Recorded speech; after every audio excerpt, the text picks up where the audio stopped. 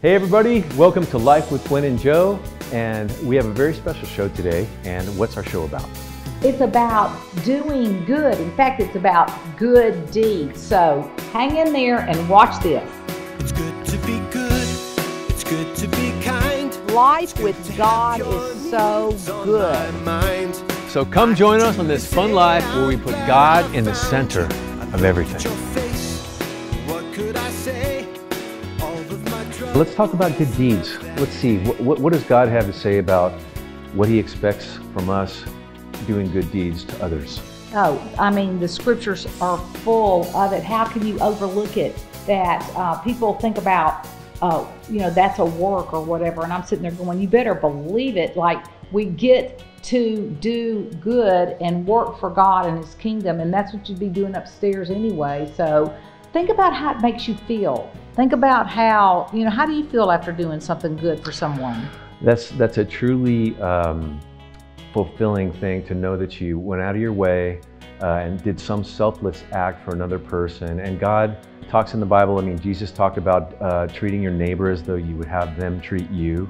And so, doing acts like that ultimately is very um, it's, it's just very gratifying to know that you're uh, giving of yourself. Yeah, I did you, you know, uh, I did Brownie Scouts. Did you do any of that? I did Brownie Scouts too. and I did. I actually didn't go past uh, being a brownie scout, hmm but and sold the cookies and, and that kind of stuff. But you know that that was part of being a brownie scout. You like go and do something good. So even the world will talk about. I mean, you've got the Peace Corps. you've got so many different things in the world where uh, everyone in the world applauds doing good deeds. And so why why why not all of us uh, get behind that and teach our teach it to our children? From Titus 3 8, it says, This is a trustworthy saying, and I want you to stress these things, so that those who have trusted in God may be careful to devote themselves to doing what is good. These things are excellent and profitable for everyone. Romans 2 7, To those who by persistence in doing good seek glory, honor, and immortality, he will give eternal life. So that by persistence in doing good Yes. and seek glory, honor, and immortality.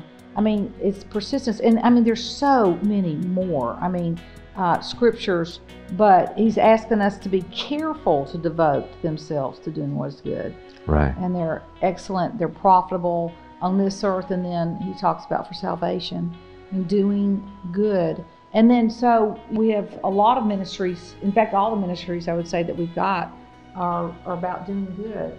And one of them is the, the prison ministry. Let's talk about the prison ministry for a minute because uh, the Remnant has an amazing prison ministry.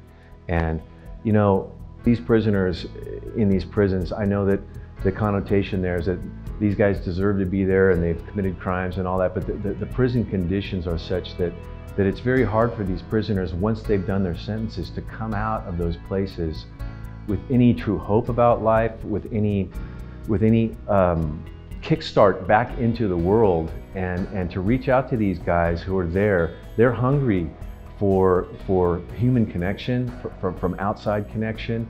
And so this church has been so amazing in doing that. Um, I'm always really inspired to see all the people involved in that, reaching out to these guys in prison. I, can tell you that's one of my uh, most fulfilling times.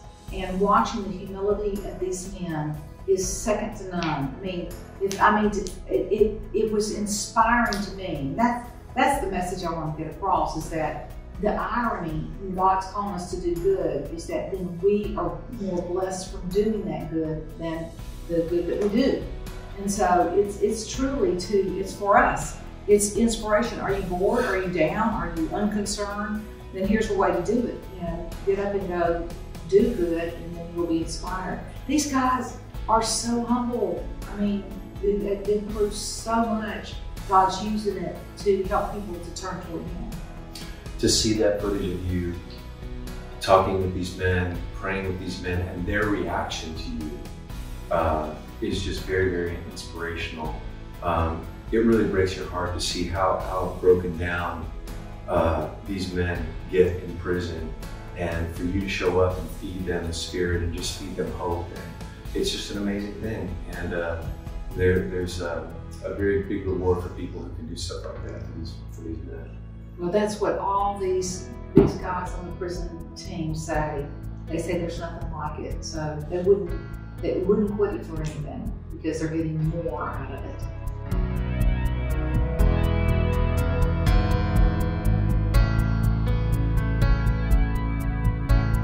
These guys travel for thousands of miles just to go Yeah. uh, teach classes and teach them about how to how to get this relationship with God. And um, these people that do this are just ah, talking about true saints. I mean, Oh, you got Linda Harden, you got Jody, you got the McPhersons, Greg. and yeah. yeah, Derville. All these guys, uh, they're they're amazing. And there's another whole group that does a mail out. They do 1,500 uh, Wow. like fold outs and mail outs a week. And um, so these guys are amazing. Out of 10 states in US and Canada, right? Yeah, we're in 10 states. Uh, the, the prison ministry's expanded to 10 states. And I also wanted to mention that the Remnant received the Faith Based Program of the Year award from the prison system for reaching out to these prisoners Yeah. and showing them love and keeping in touch with them and giving them hope and um, spreading the gospel to them. Yeah. So that's a beautiful thing. It is beautiful. And I also want to mention the Eikenberries, also the Abelts, uh, Brenda. I mean, some of these people specifically visit, like Joseph Smith and Sonia. Right. And, uh, you know, what breaks our heart is that there are situations where there are people there that are innocent and uh, been falsely accused. It's, it's something that people can do to others. It's always been around. The Bible talks about falsely accusing and how if somebody falsely accuses someone, they're they're not on their way to heaven. I mean, you that's just a big no-no, and I see why now because it is so hard. But then you know, Paul talks about going in there and and uh, never neglecting, uh, you know, visiting those in prison, those saints in prison. So it's beautiful. To think that somebody would be falsely accused and put into that environment Mm, without ever having committed the crime that they're accused of is uh, breaks my heart. it is just because the conditions are are just scary. I don't think anybody can fathom uh, leading the lifestyle that they know and being put into the prison system. It, it is not a good time, and we pray for those guys. We do, we do. Now Jesus talked about. Uh, yes. Look at look at his life.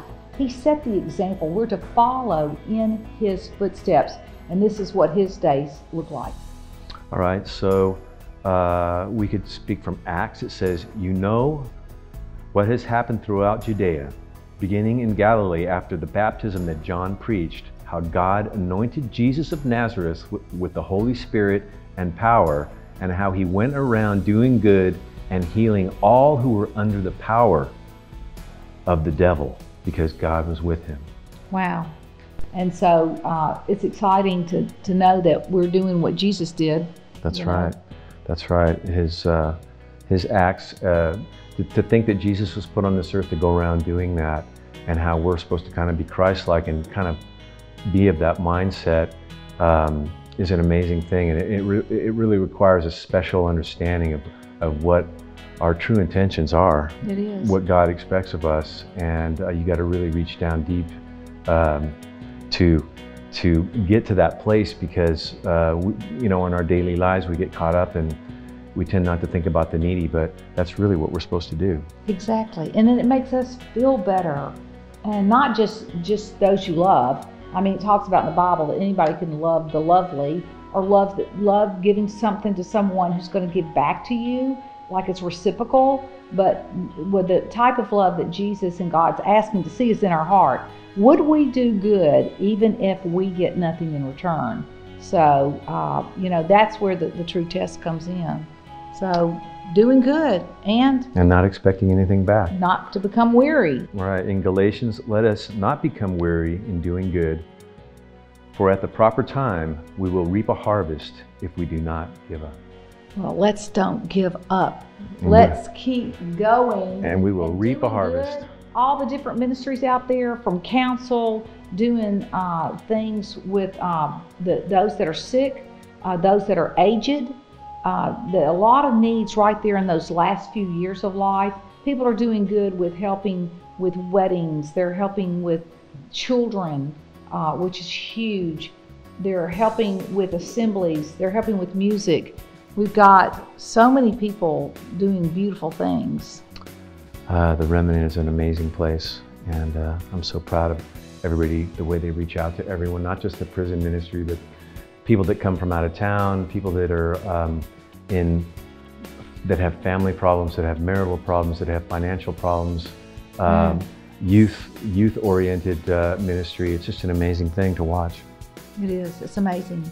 So I'm excited about it. We're gonna we're gonna leave the show. We're gonna go make our list of what we're gonna do to do good things. So we want you to join us with that. But thank you for joining us in watching Life with Gwen and Joe. We're very blessed that you spend this time with us. Thank you so much, and we'll see you next time. It's good to be good. It's good to be kind. It's good to have your needs on my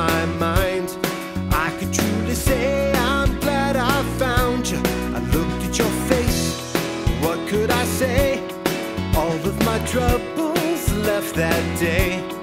I could say I am glad I found you. I just